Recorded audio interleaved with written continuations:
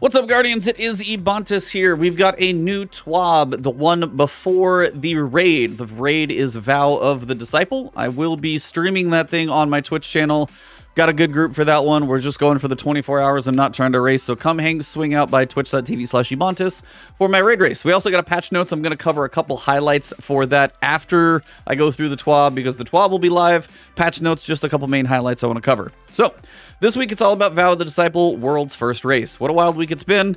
Feels like just yesterday we were announcing the Witch Queen, and now we're finding ourselves deep within the world's first race. They've got a little trailer for it. If you've ever seen a world's first raid race, very cool, a lot of fun. If you get a chance to jump into the raid completely blind, just do it blind without looking at anything if you are going to play for a little bit because it's a really cool experience if you got a group. Just to walk in and see it fresh eyes is always very cool.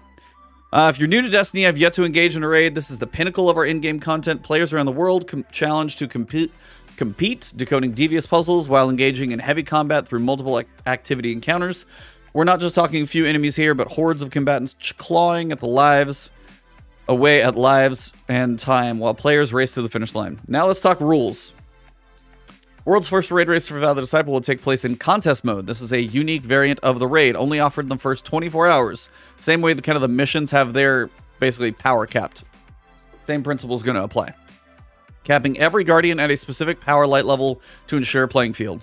We announced last week that the power target is 1530, as this will be the highest power your Guardian will perform at at against the enemies you face. Here's the quick bulleted list for those who are in a hunt for the world's first. You have 12 hours from March 5th, or 24 hours from March 5th, 10 a.m. Pacific time, so it's noon my time. So theoretically, I have noon to noon if I technically go 24 hours. I hope it doesn't take 24 hours, but we'll see. Contest will be capped. Players 20 power below 20 power below each encounter.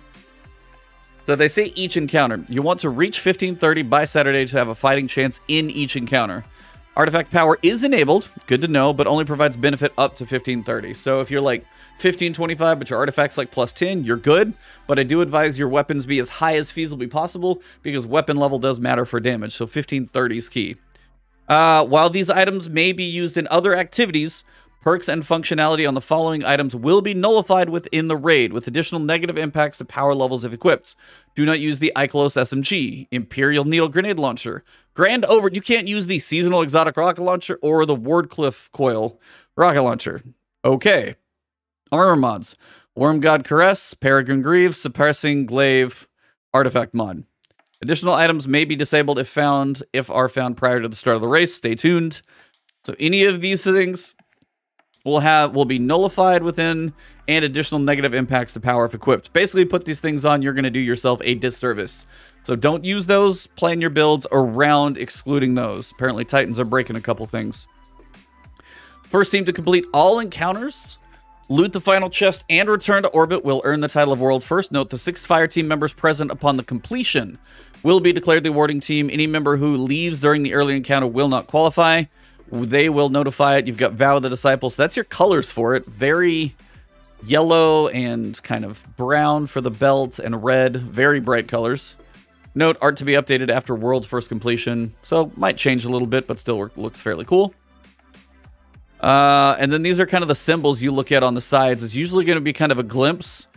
Kind, I think it's going to be Scorn, Darkness. It's going to be something. We'll be watching as players progress through each encounter, ensuring a fair race among our participants. Any players found to be breaking our terms of service will be subject to suspensions or bans. Once we have recorded a fire team crossing the finish line, they'll spend some time validating a clean completion, make sure everything's good. Uh, if you complete contest mode version of Vow to Disciple, so if you do it in the first 24 hours, you are going to get this emblem. So this is the basically spinning the wheel kind of looking emblem. So that's the emblem. Contest mode will be the ultimate challenge for many, but for others it's more fun and interesting watch the legends take it on. Tune in for the Raid Day tailgate hosted by Broman and Rec. They're going to be doing basically a raid race call out or stream. So if you complete contest mode for the Vow of Disciple, you receive a unique emblem to celebrate your victory. This looks like the one they're mentioning, but I've seen a different emblem kind of floating around there. So that's your jacket. So if you're looking to show off you're participating in the raid launch week, you want something nice to wear on your evening walks, we have the Devout Disciple raid jacket. So if you finish it, you will get it. Special rewards will only be available if you finish the raid in the first week and then place your order at the end of March.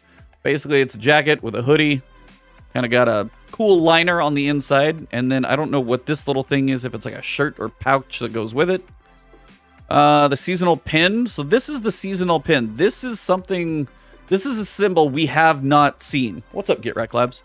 Um, that is what makes me think we're going to have, for sure, Scorn because they're all over and it seems to be the darkness piece of it. But we also got the preview at the end of the campaign for something bigger and grander, which makes me think the pyramid ship and possibly the boss is going to be some kind of darkness related thing because this is a weirdest looking symbol I've seen for Destiny before. Haven't seen Scorn before. That doesn't look like Scorn. That is really, really bizarre. Which means, theoretically, we could have some very cool stuff in the raid, so definitely looking forward to that. For Vow the Disciple, we'll be introducing a new pin for the raid. Got it for additional details. That's the seal pin, same thing. So this will be the seal for the raid. Qualify players, basically you're to have to beat the raid and do all the qualifications before December 31st. So you got like nine months to go for the seal. Outside of the race, there will be, just for the completing a single time, there's a pretty sweet emblem. So this is the, seal, the one-time emblem is this one. I actually like this more, to be honest. So even if you don't do it in the first 24 hours, if you complete the raid, you're going to get this emblem. I really like this emblem. The 24 hour one's cool and it's unique, so you're going to be probably one of the few that has it. But that one, just the unique, like I love the array of colors, kind of like the spectrum through a prism. You got the little pyramid ship and the prism of light. That one's actually pretty cool. Take your time, hang out with friends, enjoy the raid. So again, I will be streaming it. A lot of people are going to be streaming it. Wish us all luck so we can hopefully get some sleep. Feedback never ends. The Wellspring drop rates. We're going to talk about it. Okay. Once we've completed the Witch Queen's campaign and you've begun to engage in the endgame, a new activity appears in Throne World called Wellspring. This is a fun six-player match-made activity. In the Wellspring, players can earn four Throne World-themed weapons, each offering a variety of perks to mix and match for some fun combinations. Each of these weapons can be crafted, and some of these are required for progress in the evidence board quests from the Enclave. In a patch targeted next Thursday, we will be increasing the drop chances for both standard and deep sight versions of these weapons. So if you're trying to farm right now, you are definitely swimming upstream, to say the least. It is not an easy thing to do. Um, but on the other side, if you wait till next Thursday, if you're trying to get that crafting stuff done, then theoretically. So, you know, basically farm at your own risk until next Thursday. After that, they should have better drop rates for both the regular and, of course, the Deep Sight Resonance, the red outline versions of those weapons from Wellspring. And those are the Fel Taradiddle Bow. You've got the Sniper Rifle, which I'm forgetting the name of. Somebody in chat will probably tell me that one. Um, you've got the Come to Pass Auto Rifle, and then you've also got the the Grenade Launcher, the Tarnation. Sniper Rifle is the one I'm missing or forgetting. Anyway, Ascendant Alloys. As you get deeper into the crafting, you'll begin earn unlock enhanced traits. And for your weapons, Father's Sins is the sniper rifle. See, I knew somebody would get there. Uh, you'll begin unlocking enhanced traits for your weapons. These come at a bit of a cost. Each require ascendant alloys. Yeah, but you don't unlock them. That's the thing. These currencies are meant to be an in-game rarity coming from higher difficulty activities. That I get. In addition to the changes mentioned above, we'll be increasing your chances of receiving Ascendant Alloy through Master Wellspring completions, not just by the difficulty tier of the activity, but also based on your completion level. This means if you do gold or platinum, kill all the champions, then you'll be getting better rewards throughout. Now, this is misleading, in my opinion, because they say you're going to unlock enhanced traits you can choose an enhanced trait, but if you want to choose a different enhanced trait and then you want to go back, you're still going to have to pay that cost again. So it is not a permanent unlock.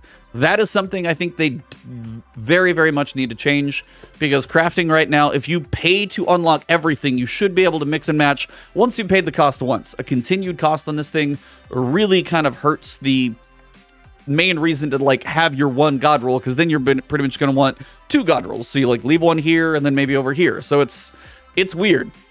I want that fixed, but there's only so much I can do. Uh, gambit tuning. While we while we do not have any firm plans to share at this time, the team want to highlight a few areas we're monitoring. Heavy weapon usage. With heavy weapon being available from clearing fronts as you collect motes, it's becoming far easier to have a tracking rocket or two in the tube, prep for impending invader. Correct. Gjallarhorn packs a particularly decent punch, especially with tracking Wolfpack rounds. Also correct. Invader frequency, while tuning the general to general invader frequency has helped reduce back-to-back -back invades from occurring as often, we're still seeing some general feedback to be difficult to handle invaders, especially during primeval phases. Primeval health. With the changes to Primeval Healing, we are seeing some reports of lengthy boss phases uh, thanks to some skilled invaders. All correct things I've heard. Again, Gambit, not perfect, still in the works. Gambit is still a work in progress.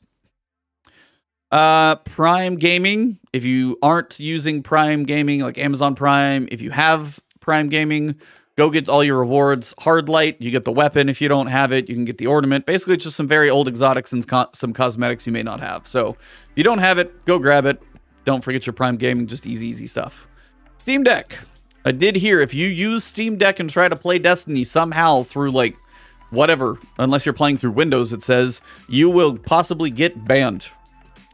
Uh, earlier this week, the help article went live containing information on Destiny 2 on Steam Deck. We'd like to provide some additional information on why running Destiny 2 on SteamOS and Linux is currently not supported. Our goal is to maintain a secure environment. It's always about the security and BattlEye and all that stuff, as it features both PvE and PvE combatant uh, dynamic world, maintaining the integrity of our system security is a complex and long-term process. In some cases, it means teaming with partners like BattlEye and following their recommendations. In others, it means choosing not to support platforms that could provide bad actors in ways of compromising our you know, our own Bungie developed anti-cheat security systems. Steam Deck is not a supported platform, and using the device will trigger our automated security system to see usage as a potential threat to the community. Use Steam Deck to play Destiny 2 if you're lucky enough to get one of those things. Potentially will be banned. FYI, probably don't use it. Moths everywhere. They did drop a hot fix today. I'm going to go through those here in just a second. Known issues. there's a few of these, so I got to make sure there's something going on. Glaive mods are not dropping from legendary engrams. Yeah, I haven't seen a lot of those.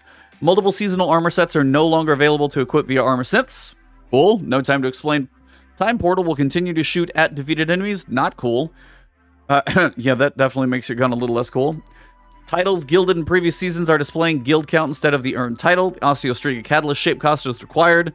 I did notice that. If you do shape your Osteostriga and you put the Catalyst in, have that thing kind of how you want it before you put the Catalyst in because it is expensive. Don't mess with that. Paragon shader appears twice. The okay players may receive joining allies prompt. Gambit engram focusing cost is higher than intended. Okay, apparently take a breather and don't focus those. Just start storing them up. Uh, dreaming tokens. Yep, I've even got those on my hunter. I'm pretty sure. Father Sin sniper rifle does not automatically enable its kill tracker after crafting the weapon. Wonderful. Aeon safe exotic Aeon safe exotic Titan gauntlets are missing a gold stripe. I think will survive. Logic or the logic exotic ornament for the lament is backwards when equipped. That's gotta be entertaining. Uh, champion mod UI indicators on player weapons will disappear after leaving a rift utilizing the Secant Filament's exotic warlock legs perked. Reshaping the Enigma questline can become stuck on the final step for some players. That's a bummer. Ascendant alloy purchases limit on Master Rahool did not refresh at the weekly reset. That's a bit of a problem. And in case you're wondering, after weekly reset and you're like, I still can't buy anymore, none of us can, and it's a bummer. So that's broken. Maybe that gets fixed on Tuesday, maybe on Thursday. That needs to be a priority. Then you got your movies of the week. Happy to see Dynasty in here. This is amazing. If you don't watch this thing, please, if nothing else, if you don't know My Name is Byf, amazing work in the lore community. For whatever reason, for about a day, this thing got copyright struck and like kind of temporarily and then put back up. What that does as a YouTuber, though, for the algorithm, definitely shoots it in the foot and hurts it. So please give this thing a long view. Go just turn it on and walk away from the computer. Just let it play. Give the man a view. It is a butt ton of work in here, and we want to see bigger projects like this. So give him some support. Seriously, it is an important thing to do. Awesome artists, of course. Make sure you guys cover that. So much to do, so little time. Thanks for joining us for another TWAB. While I'm looking forward to the raid race on Saturday, I'm also looking forward to my sleep schedule getting back on track. Uh, this last week has been full of later nights than I'm used to, as many of us have been playing too much. They also had our Game to Give stream. Thank you all for coming out for my Game to Give stream, if you guys were there. Um, probably the worst part was the dry scoop. that was hilarious, just because, like, that one was dry. But the da bomb sauce ruined me for about 10 minutes. So that's a stream if you want to go back and find that clip somewhere. And also, we now have a Wear Twab shirt. I'm going to probably have to buy that one because it's ridiculous. Now, the only other thing I want to cover real quick is the patch notes because we do have those. Couple highlights to go over. Um, activities. So the main thing is basically if you had issues with the Europa sabotaging salvation, apparently that has been fixed. In the throne world, they have fixed the chest farm for the deep sight tier 3 chests. They have temporarily disabled those chests, so you can no longer chest farm right now. Um, they said they fixed an issue, several issues that caused the wizard in the Wellspring attack phase to mess up. That's supposed to be fixed. Um, Light Blade Strike, the Hive Boat starts, even though people are trying to skip it, should be fine. Uh, they were fixed an issue where people were not getting basically the Parasite Grenade Launcher for the quest. That's been fixed. Uh, abilities, fix the Cataclysm icon, fix an issue where the Titan's could. Weapon crafting, fix an issue where the crafted weapon triumph counts were not displaying the correct amount. Fix an issue where the mementos could drop from activities before players unlock weapon crafting. Not a big deal. Uh, updated crafting material name to now read correctly as drowned alloy instead of drowned element. That's going to be something from the raid weapons, FYI.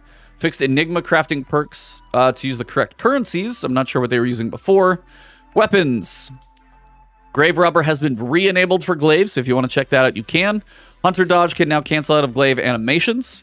Uh, fixed a bug where the funnel web was displaying the incorrect magazine values. Now it's not going to break your game. Um, some Foundry weapons fixed an issue where some Foundry weapons only have their source origin trait. Now it seems like that's going to be more options. The Palmyra-B rocket launcher was having weird stats. The Fortissimo um, shotgun had like crazy high magazine capacity. Alacrity, which is the origin perk for trials, seems to have been fixed. Uh, the Grand Overture, which you should not take into the raid, um, because apparently that's something that's kind of broken right now. Fixing an issue where glaive melee kills did not count toward, towards glaive kills in the player's match history, which is weird. Uh, an issue where the outlaw perk appeared twice in the first column. Weird stuff. There's a couple I'm trying to get to. Okay. Here's one. The Loreley Splendor Helm. This is the Titan one. This just got shot, kind of taken out back and not not in a great place. Basically, what's going to happen, it will now create a sunspot when you cast your barricade. So when you cast your barricade, you also create a sunspot, which does heal you. But the difference is, it will still grant a sunspot when critically wounded, but it now requires and will consume a charged class ability cooldown.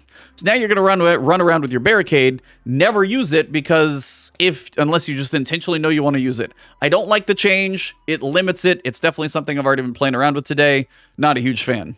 Uh, they fixed the description of the perk. Sealed Ahamkar, Ahamkar Grasps no longer reload the Glaive magazine on projectile damage. High stat armor rolls have been added uh, as rewards for player difficulty campaign missions. Nice to see those.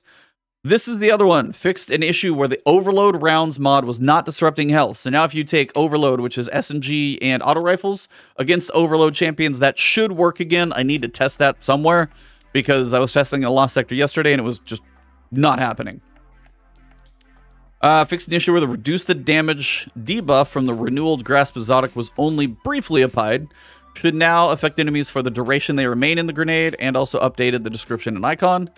Bounties made some new Vanguard Void bounties available not during Void weeks. Yeah, that should always be kind of that way. So they're a little more solar with solar, arc with arc. Just make that stuff synergize. It's not that hard.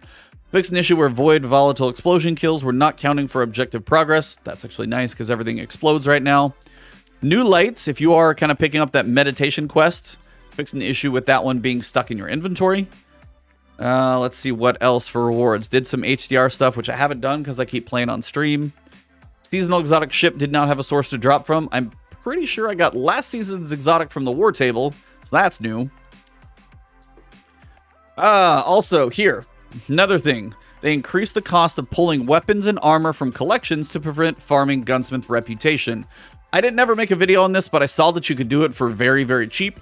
They basically made this not really worth your while in the long run. 2,500 Glimmer, 20 Legendary Shards, because you would typically, even on an exotic, you would get back like 6 Legendary Shards and 500 Glimmer. So now it's going to whittle through everything a little too much. It's not going to be worth the farm, so don't try and do that one. I knew that was going to be a thing. Um, let's see, what else? Various stability fixes and crashes. I still don't know if the memory leak on PC is fixed. If your game starts running low on PC after like five to six hours, just restart your game. That pretty much covers everything though. I know that was kind of two different things, but the main thing is the world's first raid race is here. Starts at March 5th, 10 a.m. Pacific. So if you are doing that one, come hang out in anybody's stream, check it out. If you haven't, if you're unable to jump in yourself and you do want to see it live, people trying to figure it out, that is definitely a way to do it. Check it out on day one. It's very exciting, very fun. If you enjoyed this video, drop a like below, leave a comment if you got questions. Tomorrow morning, podcast for the last word number 187 we will have chris raygun over on the youtube channel if you guys are watching this on youtube here uh, but if you're on twitch it'll be on youtube it's going to be 9 a.m eastern time so some of you guys it could be an early morning but that will be waiting on the channel potentially afterwards and then of course Xur tomorrow thank you guys very much. If you enjoyed the video drop a like leave a comment follow me on twitter follow me on twitch right here. Hit that subscribe button hit the alert bell. Those of you who are youtube channel members or patreons you guys are extra amazing all of you. Have a good one. I'm gonna go see batman. See you soon